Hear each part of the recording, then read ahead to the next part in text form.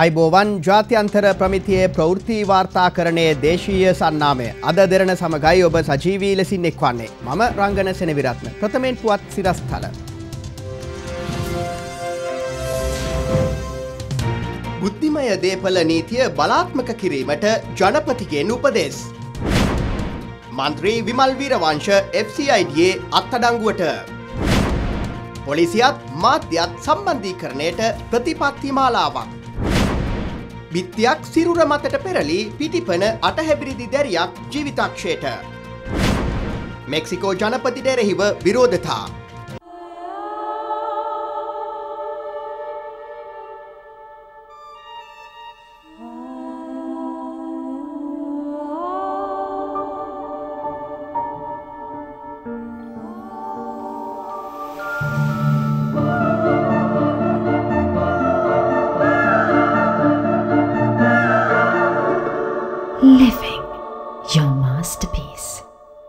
Rossell Eternal Elegance. බුද්ධිමය දේපල කොල්ලය නැවැත්වීම සඳහා කඩිනම් පියවර ගන්නා ලෙස ජනාධිපති මෛත්‍රපාල සිරිසේන මහතා අදාළ නිලධාරීන්ට උපදෙස් ලබාදී තිබෙනවා. ඒ කලාකරුවන් සහ නිලධාරින් සමඟ ඊයේ පස්වරුවේ පැවති සාකච්ඡාවකදී. ජනාධිපති කාර්යාලයේදී කලාකරුවන් සහ නිලධාරින් සමග පැවති සාකච්ඡාවකදී ජනාධිපතිවරයා මෙම උපදෙස් ලබා දී ඇති බවයි ජනාධිපති මාධ්‍යංශය සඳහන් කළේ. එහිදී ජනාධිපතිවරයා ප්‍රකාශ කර ඇත්තේ බුද්ධිමය දේපල සම්බන්ධයෙන් දැනට පවතින නීතිරීති නිසිලෙස ක්‍රියාත්මක කිරීමටත් අඩුපාඩු පවතින්නේ නම් නව නීති සම්පාධනය කිරීමටත් අවශ්‍ය ක්‍රියාමාර්ග ගන්නා ලෙසයි. බුද්ධිමය දේපල හිමිකම සහ කෘතභාගය ගෙවීම සම්බන්ධයෙන් පවතින නීතිරීති පිළිබඳ අදාළ අංශ දැනුවත් කිරීම සඳහා වැඩපිළිවෙලක් ක්‍රියාවට නංවන ලෙස ජනාධිපති මෛත්‍රපාල සිරිසේන මහතා ජනමාධ්‍ය අමාත්‍යංශය වෙත උපදෙස් ලබා දී තිබෙනවා.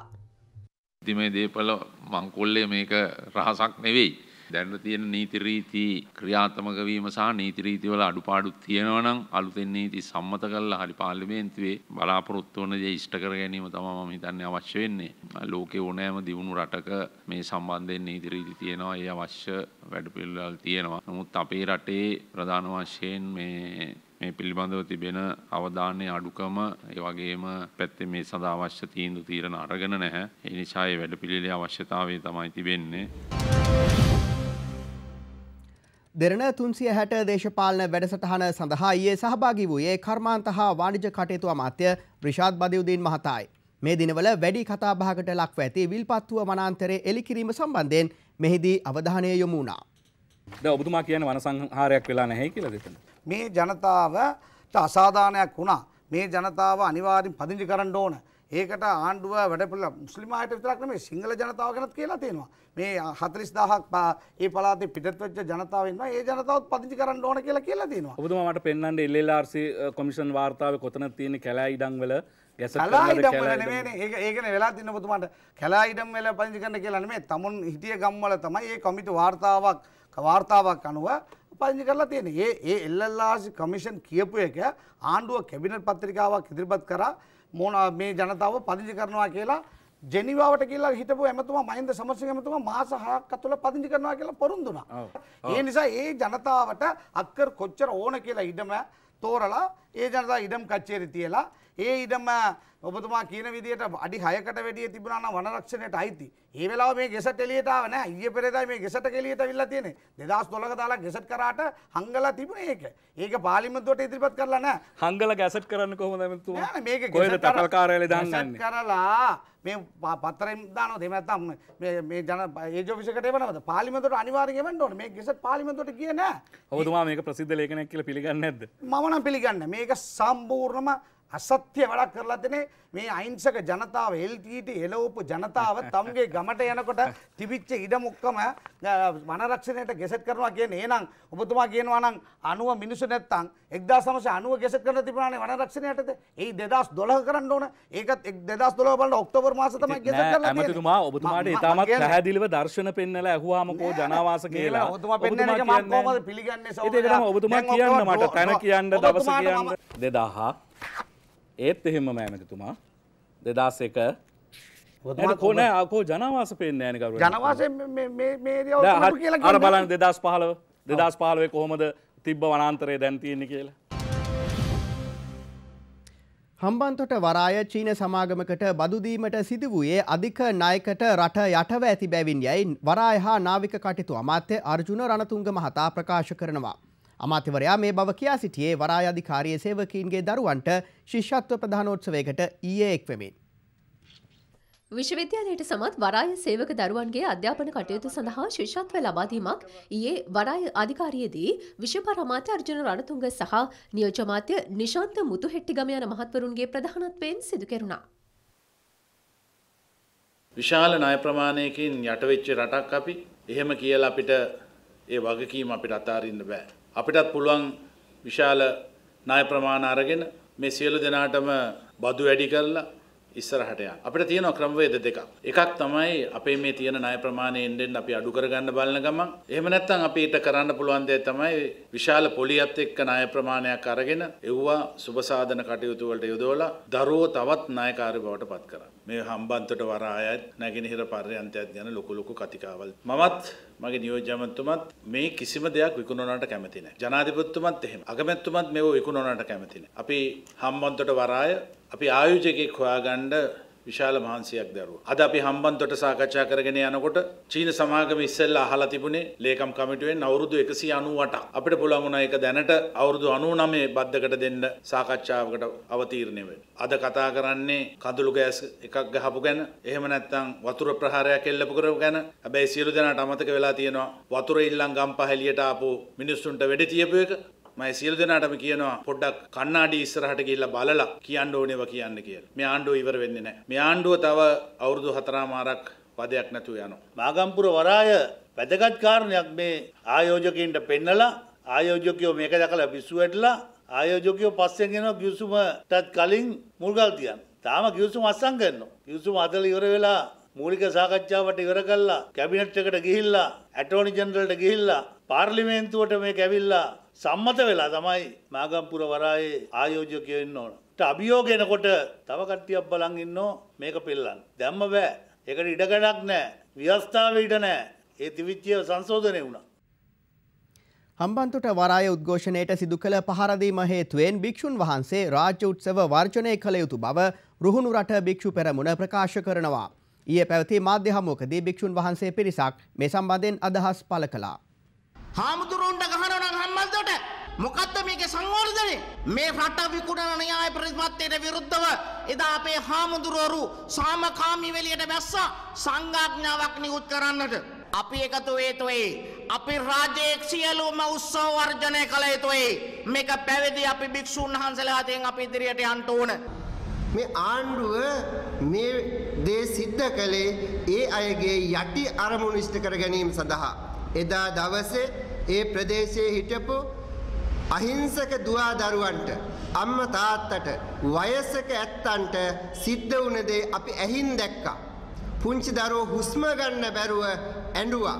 දිගින් දිගටම ගෙවල් වලටත් මහා මාර්ගයටත් හැමතැනටම කඳුළු ගෑස් ප්‍රහාර එල්ල කළා. නමුත් මේකෙන් අය බලාපොරොත්තු වුණා මේ රජයේ තියෙන අවශ්‍යතාවය ඉෂ්ට කරන්න. මිනිස්සු දෙන බත් ඇටේ වළඳලා හාමුදුරනේ ඔබ වහන්සේලා පන්සලට වෙලා ඉඳපල්ලා කියන தත්වෙට අද නායකයෝ අපිව සමච්චලයට ලක් කරන්නට අපිව නිහඬ කරන්නට නොඑක ආකාරයෙන් බෙරදරන යුගයක් වෙනවා. මේ ප්‍රදේශයේ අපිට මඟ පෙන්වුම් කරන්නට ඉන්න නායක හාමුදුරන් වහන්සේලා නිහඬ කළා තිබෙනවා. උන්වහන්සේලාගේ මුනිවත රකින්න தත්වයට පත් කළා තිබෙනවා. පැවති පාලනයට වඩා සැබෑ වෙනසක් වත්මන් පාලනය තුළ ඇති බව සුදේශ කටයුතු අමාත්‍ය වජිර අබේවර්ධන මහතා පවසනවා. ඊයේ ගාලේ පැවති උත්සවකදී අමාත්‍යවරයා මේ බව සඳහන් කළා. ඇත්තටම තිවුණු පාලනය සහ අපේ වෙනසක් තියෙනවා. ඒක ඇත්ත අපේ හම්බුනේ. ඒකේ වරදක් නැහැ. උද්ඝෝෂණය දකින්නකොටම මම දන්නවා වැඩේ සාර්ථකයි කියලා. මට මතකයි එදා කොට්ටාව හන්දියේ මුල්ගල් තියෙන දවස් උදේ දැවන්ත උද්ඝෝෂණයක් තිබුණා. එතකොට නියෝජ්‍ය පොලිස්පති කොළඹ බෝධිලියනගේ මම මම දුරකථනයෙන් කිව්වා විසුරුහාරින්න කියලා. මාරපණ මහත්තයෙක් කිව්වා විසුරුහාරින්න කියලා. කඳුළු ගෑස් ගහන්න ඕන විතර විසුරුහාරිය පොලිසිය කෙනෙක් ගහන්න නැතුණා. ඉතින් පොලිසිය ඒක කරන්නේ ලොකු පින්කම. පොලිසිය මේකින්ම ඇති සංසාරේ ගොඩ යන්නේ මොකද නිවැරදි පාරට තල්ලු කිරීම. ඒ වෙලාවේ අවාසනාවන්ත අයුරින් වයසක එක්කෙනෙක් අවුරුදු 70 ගානක එක්කෙනෙක් එතන මිය ගියා. පොලිසිය ප්‍රශ්න නිසා නෙමෙයි තෙරපීම නිසා ඔහුගේ වයස නිසා ඔහු එතන මිය ගියා. බහුද පත්තරයේ ප්‍රධාන සිරස්තලය අධිවේගී පාරේ පළමු බිල්ල ගනි. මේක තමයි ඉතිහාසය. එදා දවසේ පත්තරවල ප්‍රධාන සිරස්තල ඔක්කොම මට බැලුවා. හැබැයි ඒ ඔක්කොම මට බැන්නට කමක් නැහැ. දැන් පාර තියෙන ඔක්කොම යනවා. ඒ උද්ඝෝෂණය කරපු ඇත්තන් මේ පාරෙමයි. ප්‍රේමදාස මහත්තයා කාලේ කණ්ඩලම හැදුවා. කණ්ඩලම හදනකොට කණ්ඩලම කණ්ඩිය උඩ කට්ටිය වාඩි වෙලා හිටියා. ඒගොල්ලෝ කිව්වා මරාගෙන මැරෙනවා. මේ වැවේ වතුර හිදෙන ඕගොල්ලෝ. දැන් අවුරුදු 25ක් ගත වුණා. වැවේ වතුර හොඳට තියෙනවා. කට්ටිය කණ්ඩලෙ පුදි. දැන් මේක ගැන කලබල වෙන්න හොඳ නැහැ. මේක පොඩි දෙයක්. මේක හැම තැනම මේ හැම දෙයක්ම අපි කරලා තියෙන්නේ උද්ඝෝෂණ එක්ක.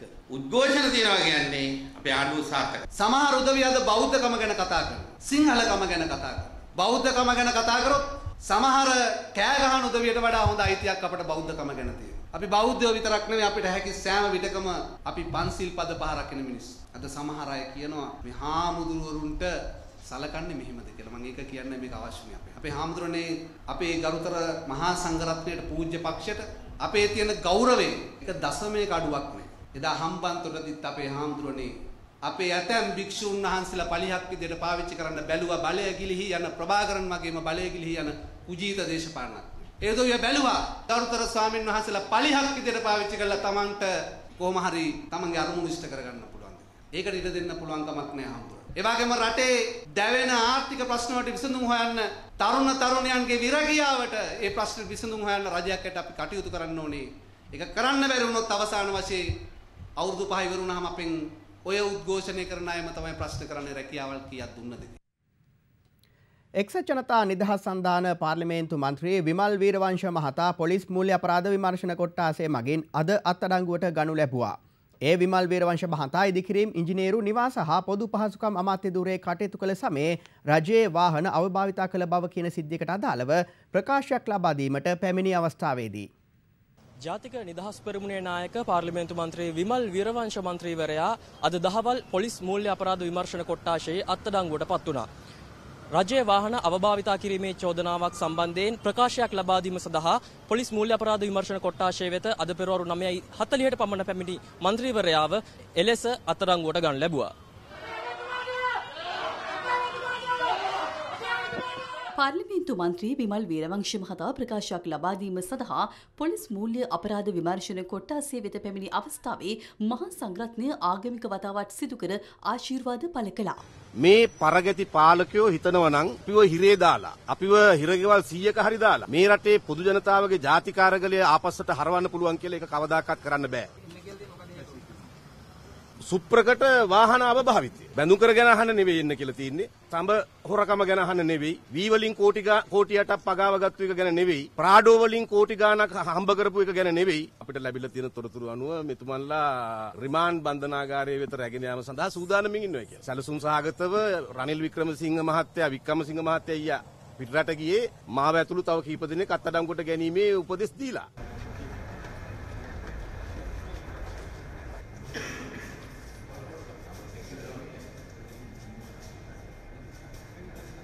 අපට දැන් සුළු මොහොතකට පෙර අපිට මූල්‍ය අපරාධ විමර්ශන කොට්ටාසයෙන් දැනගන්න ලැබුණා. විමල් වීරවංශ පාර්ලිමේන්තු මන්ත්‍රීතුමාව දැන් සුළු මොහොතකට පෙර අත්අඩංගුවට අරගෙන තියෙනවා. මීට පෙර කොටුව මජිස්ත්‍රාත් අධිකරණයට කරුණු වාර්තා කරලා තියෙනවා. එතුමා අමාත්‍යවරයා හිටියට හිටපු වෙලාවක ඒ අදාළ වාහන භාවිතය සම්බන්ධයෙන් වාහන අවභාවිතා කිරීම සම්බන්ධයෙන් අමාත්‍යවරයෙකු වශයෙන් එතුමා අනුබල දීමක් කිරීම සම්බන්ධයෙන් පරීක්ෂණ පැවැත්වෙන බව තසුළු මොහොතකින් මම හිතන්නේ විමල් වීරවංශ මන්ත්‍රීතුමාව කොටුව මජිස්ත්‍රාත්තුමිය වෙත ඉදිරිපත් කරනු ඇති. මෙම ස්ථානයට ඒකබද විපක්ෂයේ මහජන නියෝජිතයන් රැසක්ද එක්ව සිටියා. මේක මේ ආණ්ඩුවේ ක්‍රමවේදය. මේක පළවෙනිය වෙන්න පුළුවන්. තව කිහිප දෙනෙක් ලයිව් ස්ට්‍රීට් හිතාන්තට ගනි. මේගොල්ලන් බලාපොරොත්තු වෙන්නේ අපිව ඇතුළට දාලා ඉස්සරහදී ඒගොල්ලන්ගේ අවශ්‍යතාවය ඉටු කරන්න. ලංකා දේශපාලන ඉතිහාසයේ මේ වගේ හිරිකිත ආණ්ඩුවක් ආවෙන හිරිකිත. දැන් තියෙන මොකක්වත් නෙවෙයි දේශපාලන වශයෙන් දැන් බයක් තියෙනවා. රෑට නායක ඔක්කොටම රෑට හැරෙන්නේ බහට එකපාරටම රාජපක්ෂ කියාගෙන. මේ ආණ්ඩුවේ මැති ඇමතුරුන්ගේ වාහන අවභාවිතය බැලුවා නම් මේ වෙනකොට එහෙනම් ඉතින් දැන් ඉන්න කැබිනට් එකෙන් භාගිකුත් ඉන්නවා. දැන් විමල විරවංශ ඇමතුමාට නඩුව දානකොට එයාගේ මමාත්‍යයන් සිටපු නියෝජ්‍ය ඇමතිවරයාට ඒ නඩුව නැහැ. හැබැයි ඒ ඇමතිවරයාත් යහපාලන ආණ්ඩුවේ දැන් ඇමතිවරයෙක්. විමල විරවංශ මහත්තයාට මේ නඩුව වැටෙනවා නම් ඒ නියෝජ්‍ය ඇමතිවරයාටත් මේ චෝදනාව වැටෙන්න ඕනේ. තවත් තොරතුරු මේකෙට විරාමෙන් පසුව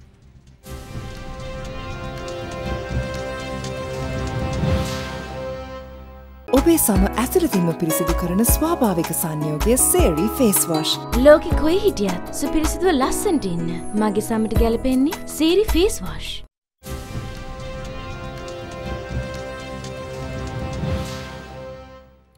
විරාමෙන් පසුව නැවතත් අද දෙරන සමගින්. නීතිය සාමය සහ දක්ෂිණ සංවර්ධන අමාත්‍යංශයේදී අද මාධ්‍ය හමුවක් කැඳවා තිබුණා. ඒ පොලිසිය සහ මාධ්‍ය අතර තොරතුරු හෝමාරු කිරීම සඳහා ප්‍රතිපත්ති මාලාවක් හඳුන්වාදීමේ අරමුණින්. ප්‍රතිපත්ති ප්‍රකාශනය අනුව අධියර දෙකක් යටතේ ක්‍රියාත්මක කරන්න. විශේෂයෙන්ම අමාත්‍යංශය සම්බන්ධ වෙලා කටයුතු කරන කරුණු හැටියට ප්‍රතිපත් මේ කරුණු මතභේදාත්මක අවස්ථාවන් එවැගේම ජාතික හා ජාත්‍යන්තර වශයෙන් වැදගත් කරුණු මතුවෙච්ච අවස්ථාවල අමාත්‍යංශයේ ලේකම්තුමා විසින් පත් කරනු ලබන අතිරේක ලේකම්තුමෙක් හෝ ජ්‍යෙෂ්ඨ සහකාර ලේකම්තුමෙක් ඒ සම්බන්ධව කටයුතු කරලා මාධ්‍ය සමග සම්බන්ධ වෙයි. ප්‍රතිපත්තිවල දෙවෙනි ලේඛන පිටුවේ පහ දෙක යටතේ තියෙනවා ශ්‍රී ලංකා පොලිසිය විසින් මාධ්‍ය සම්බන්ධ කරන කරුණු කොළහක් වගේ එතකොට මෙන්න මේ සම්බන්ධව අපි මෙතෙක්කල් පවත්තාගෙන ආපු විදිහටම තමුන්නාන්සලාට අවශ්‍ය තොරතුරු ලබා දෙනවා. ඉදිරි සති දෙක තුන ඇතුළත මේ සම්බන්ධව ස්ථීර ක්‍රමවේදයක් මේ ප්‍රතිපත්තිය පදනම් වෙච්ච ක්‍රමවේදයක් ශ්‍රී ලංකා පොලිසිය විසින් සකස් කරනු ලබනවා. මාධ්‍ය ඒකකේ පැය 24 මුළුල්ලේ ක්‍රියාත්මක වන කණ්ඩායමක් ඉන්නවා. පැකේජ් එකක් හැටියට උදේ 6ටත් දවල් 11ටත් හවස 5ටත් මුදා හැරීම සිද්ධ කරනවා. ඊට අමතරව අපි හිතමු හදිසි අවශ්‍යතාවල අවශ්‍යතාවය අනුව මාධ්‍ය නිවේදන නිකුත් කරනවා. ඒ අතරතුර ප්‍රතිපත්ති මේ කරුණු වගේ පොලිසිය අත්‍යවශ්‍ය දේවල් වලට පෞද්ගලිකව මම මැදහත් වෙලා කටයුතු කරනවා. ලෝක උරුමයක් වන සිංහරාජ වනාන්තරයේ සූරියකන්දාසන්න කොටසක් මේ වන විට මහා පරිමාණයෙන් එලි පෙහෙලි කරමින් වගා සහ ඉදිකිරීම් කටයුතු සඳහා යොදාගෙන ඇති බව අද දෙරනට වාර්තා වනවා. ප්‍රදේශවාසින් පවසන්නේ දෙදහස් එකොළහා වසරේ සිට සිදුවන මෙම වන විනාශය පිළිබඳව බලධාරින් දැනුවත් කළත් ඒ සම්බන්ධයෙන් නිසි ක්‍රියාමාර්ග ගැනීමට බලධාරීන් මැලිවන බවයි. සිංහරාජ වනාන්තරයේ සූරියකන්දාසන්න කොටස සහ කල්ලුමලේ ප්‍රදේශවල ස්වභාවික වනරක්ෂිත මහා පරිමාණයේ නෙලි පෙහෙලි කර ඇති ආකාරයයි මේ. ඉන්නේ මේ මහා ලඳු කැලෑව කියලා. අර ඔයාගේ කතා කතා කරද්දි කිව්වනේ මානමක් කිව්ව කිව්වනේ නේ. ඔව්. දැන් කැලේ අරේවා අන්න අතෙන්ද කැලේනේ. අර මේ බං මේ මේ පස් ගන්න මේ මේ මේ හොඳම බෝර ටික ගන්නවා ගැන තේපැල වලට මේ අර කුඤ්ඤ මිටි කපලා තියෙන්නේ මේ මේ කුඤ්ඤ මිටි මෙන්න අනවසර වගපෙම් රහසේ පාත්වාගෙන යාමේ අරමුණින් මෙලෙස වනාන්තරයේ අභ්‍යන්තරයේ වන්නට කැල එලිපෙහෙලි කර ඇති අතර ඇතැම් ස්ථානවල අනවසර තේවතු පවත්වාගෙන යන ආකාරයද මෙහිදී දක්නට ලැබුණා. මේ සිංහරාජයම සිංහරාජයට අක්කර 10ක් තියෙනවා අක්කර 500 ඇතුලේ වගා කරලා තියෙන්නේ මේ විදිහට තමයි. මේ නිලධාරි ඔක්කොම ජරාව කාලා තමයි මේ මේ මේ මිනිසුන්ට සල්ලිකාරන්ට මේ විදිහට වෙන්නේ. කොළොන්න සහ ඇඹිලිපිටිය ප්‍රදේශවලට ජලය සපයන නිල්දෙනිය ජල මුලාශ්‍රය පෝෂණය වන මෙම ප්‍රදේශයේ මේ වන විට ඉදිකිරීම් සිදු කිරීමේ අරමුණින් බැකෝ යන්ත්‍ර යොදා ගනිමින් කටයුතු කරන ආකාරයයි මේ.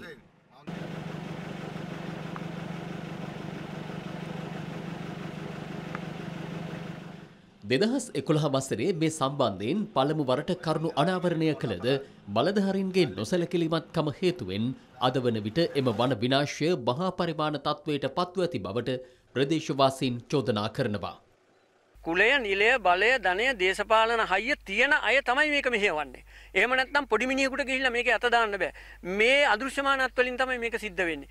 භික්ෂුන් වහන්සේද පෙන්වා දෙන්නේ ඉතා ඉහළ ජෛව විවිධත්වයක් සහිත වන රක්ෂිත රැක ගැනීමට නීති රෙකුලාසි පැවතියද ඒවා ක්‍රියාත්මක නොවීම කැටලු සහගත බවයි. එනිසා අපි අතිකරු ජනාධිපතිතුමාගෙනුත් ඒ වගේම රජයේ වගකිය යුතු සියලුම නිලධාරීන්ගෙන් අපි ඉල්ලීමක් කරනවා මේක රැක දෙන්න කියලා ජාතික සම්පතක් හැටි අනාගත පරපුරට. බිත්තියක් සිරුර මතට පෙරලේ හෝමාගම පිටිපන ප්‍රදේශය අටහැවිරිදි දැරියක ජීවිතාක්ෂයට පත්ව තිබෙනවා. හෝමාගම පොලිසිය සඳහන් කළේ අදාළ අනතුරින් පසුව දැරිය රෝහලට රැගෙන යන අතරතුරදී මියගොස් ඇති බවයි.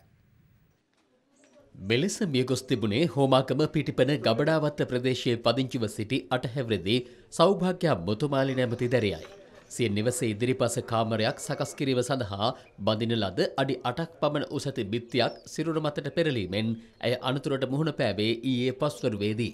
එහිදී ඇයව හෝමාගම මූලික රෝහලට රැකෙන යන අතරතුරදී ජීවිතක්ෂයට පත්ව තිබෙනවා. දැරීගේ පියා සඳහන් කළේ ඊයේ සවස ඇය ක්‍රීඩා කරමින් සිටි ආකාරය තමා අවධානයෙන් සිටියද එක්වරම ඇය තමන් වෙත දිව එන අවස්ථාවේ මෙම අනපේක්ෂිත අනතුර සිදු වූ බවයි.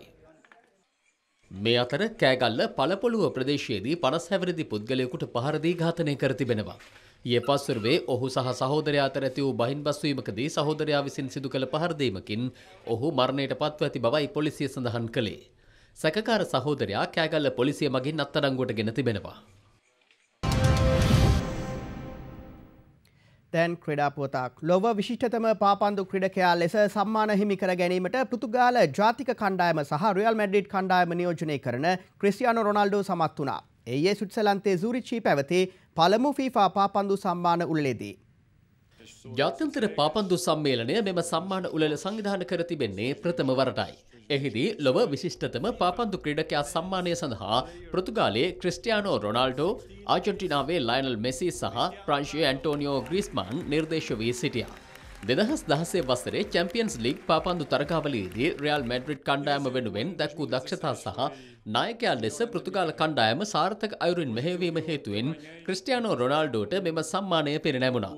තිස්සෙක් හැවරදි රොනාල්ඩෝ පසුගේ දෙසැම්බර් මාසයේදී දක්ෂතම පාපන්දු ක්‍රීඩකයාට පිරිනැමෙන බැලොන්ඩියෝර් සම්මානයෙන්ද පිදුම් ලැබුවා.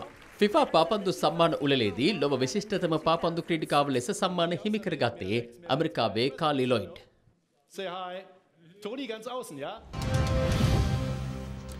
ඒ සමගින් අද දෙරන මධ්‍යහන පුවත් විකාශය නිමාවට පත් වනා සුබ දවසක්.